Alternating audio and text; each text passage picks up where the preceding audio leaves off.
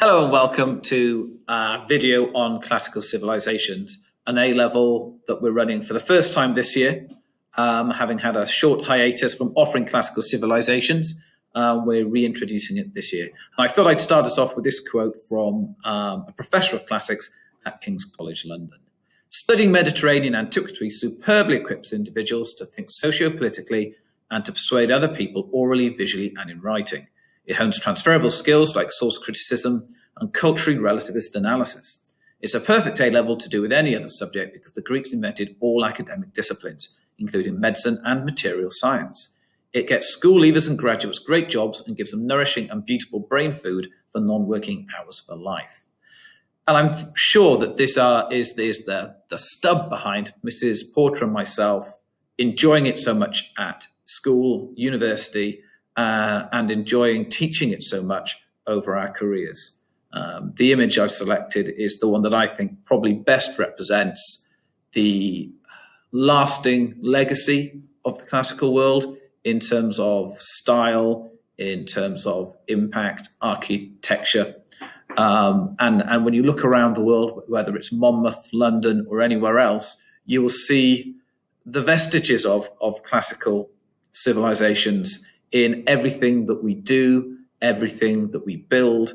Um, and I think the subject has immense value and immense wealth to offer young people. So, what sort of a student will engage, benefit, or enjoy um, classical civilizations? Well, the obvious answer is everybody, but, but some are obviously going to be more suitable than others. Um, and you can only pick three, possibly four A levels. So you do need to be very sure that it is going to offer you something in terms of your long-term career path, in terms of your university choice, um, or an area of, of significant individual interest that it's worth studying alongside other A levels that are going to help with your pathway, whilst this might be something that you simply really want to study because of a, a personal interest. So if you're interested in exploring the past, if you're interested in exploring the origins of literature or drama, if you're fascinated by the archaeology of, of the ancient world that surrounds us, and in Southeast Wales, particularly through areas like Caerwent, Caerleon, we have some of the, the best ancient architecture in Western Europe. If you enjoy the skills you might develop, whether it's debate, critical analysis, extended writing, um, self reflection, if you're just looking for um, an opportunity to delve more deeply than you've had up to now in the classical worlds of Greece and Rome, this will um, benefit you. This will offer you a great deal. So, your teachers, both Mrs. Porter and I have degrees in the ancient world um, and varying elements of classical civilizations. Mrs. Porter, indeed, also studied it at A level herself. Um, our interests are diverse as well as having areas of considerable overlap. We've selected A-level units that we feel will suit our strengths and offer students the um, best range of knowledge available from the um, from the units on offer by OCR. As you can see, we've both got a significant interest in Roman Britain. Um, sadly, that unit isn't on the syllabus anymore, as both of us really enjoyed teaching it before. We've both got extensive experience of delivering tragedy and epic, as those were both on the previous A level syllabus that we taught, and both of us looked at those to some degree or other at university. I had a particular interest in um, ancient Macedonia and Philip um, II and Alexander. Um, Mrs. Porter has a more cultural interest in the ancient world, and so we're hoping that our where our interests have diverged and our, our studies have diverged, that will be able to bring both of those elements to students, understanding and learning of, of the unit. Um, we will be delivering it in a very collaborative fashion, um, teaching units together and where appropriate individually. So the exciting bit, I guess, what does the course offer in terms of subject matter? I think the first thing to state is that we are using the OCR specification that there will not be an AS in the first instance, there will be a two-year A-level program offered. And that's because WJEC does not offer classical civilizations, and therefore we've had to go with one of the English exam boards. So the first unit, the main unit, is the world of heroes, focusing on Homer and Virgil's epics. Um, in this case, for us, the Odyssey and the Aeneid, um, although we will obviously reference the Iliad in its connection to the Aeneid, um, which is extensive. And the, the focus here is obviously to focus on um, both the political and historical background, as well as the literature, um, as well as the stories, as well as the philosophy, the the morals um, that both texts portray. How are they similar? How are they different? How do they demonstrate um, continuity between the ancient Greek, the Roman, and the modern world? And how do they show um, the differences between us? Very excited to, to be delivering this. Um, Mrs. Porter will focus in all likelihood on the Aeneid, um, whilst I will focus on delivering the Odyssey, allowing us to um, split the course evenly with each of us taking one of the other two units. So, Unit 2, Greek religion. Obviously, an area of particular interest for young people, um, and with the stories of Percy Jackson um, and other literary connections, whether it's Harry Potter or other, um, it's an area where lots of students have a have a degree of familiarity, um, although perhaps without the depth required um, to truly understand the importance and significance of Greek gods and also the wider religious constructs around those. So we'll look to develop those through architecture, archaeology, art, pottery, primary sources, um, secondary historians' writings, obviously, and in trying to encourage students to more fully appreciate and understand the influence of Greek religion on um, our, our culture and society today.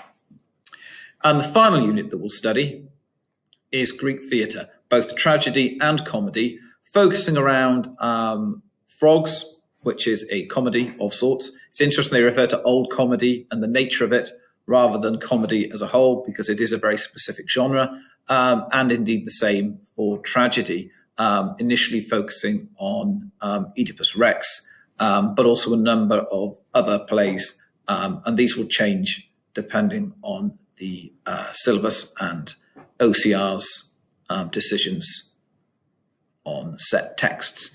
Um, and here we'll be looking at obviously the philosophical and human element of both tragedy and comedy, the juxtaposition between the two um, mediums, um, but also again archaeology, architecture, pottery, primary texts, um, and subsequent critical analysis um, in order to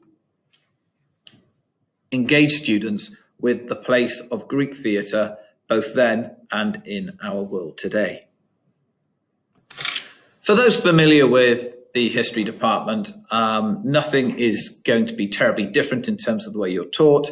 You will be taught by passionate, dedicated specialists. Um, there will be a research and inquiry element. We will obviously be looking to increase collaboration, and hopefully, with the COVID crisis coming towards an end, there'll be more opportunities for that. And hopefully, we will all throw ourselves into collaboration that little bit more, having missed it for so long now. There will be lots of feedback and opportunities for reflection. We will obviously be supporting and encouraging students to develop their independence in preparation for university. We will use um, discussion and debate extensively to support students' understanding.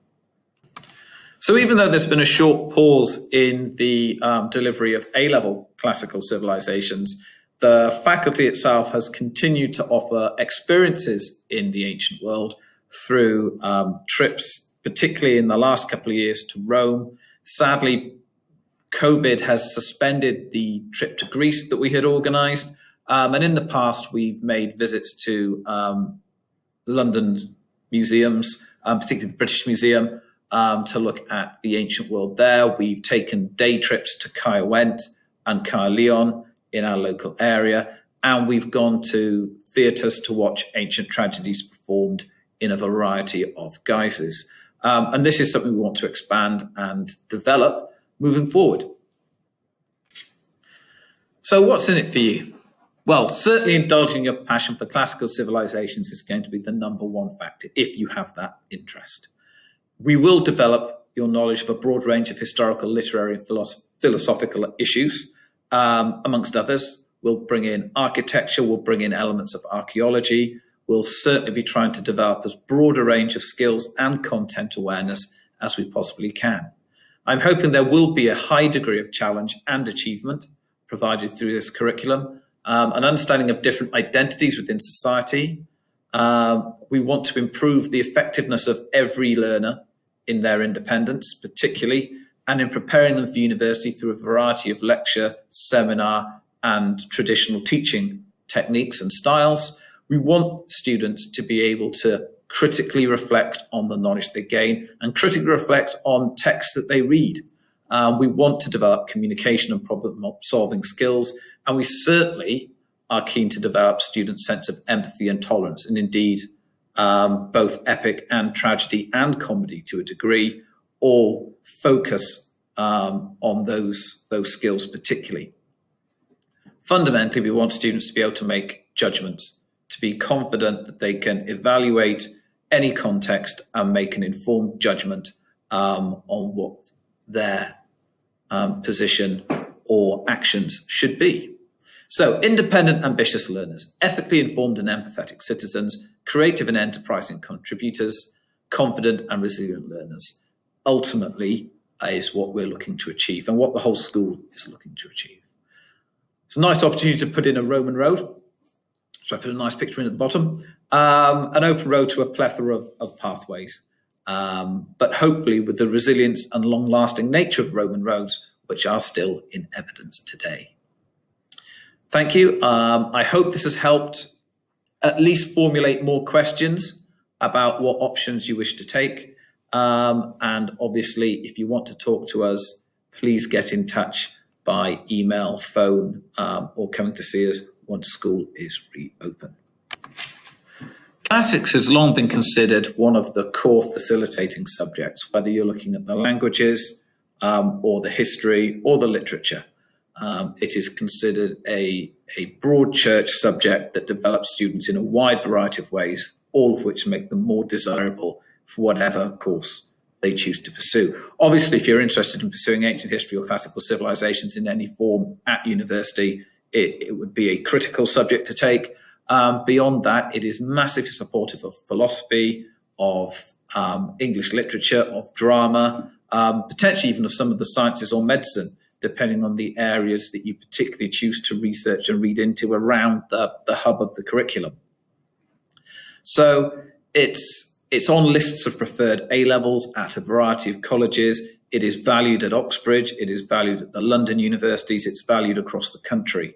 Um, but it is not a subject where the content is going to be required um, for any, any degree. So you do need to look at it as a facilitating subject that develops a personal interest in a subject area whilst preparing students' skill sets for a wide variety of future opportunities.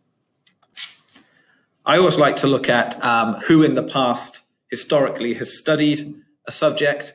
Obviously, it helps us understand the, the potential and the breadth of potential um, of ex students of classical civilizations or classics.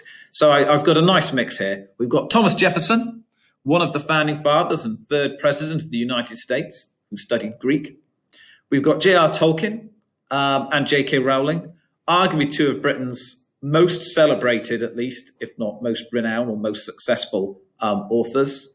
We've got the inventor or founder of Adobe Systems, to give you an idea that classics isn't limited to the literary professions. Um, and Jonathan Evans, or Baron Evans of Weardale, who was the head of MI5 for some time. And it just gives you an idea of the breadth and range and what we mean by a facilitating subject um, in people who have studied it in the past. So, what are the requirements? What do you need to bring to the table, as it were? Um, a C in history, if you've studied it, C in English language, um, or literature.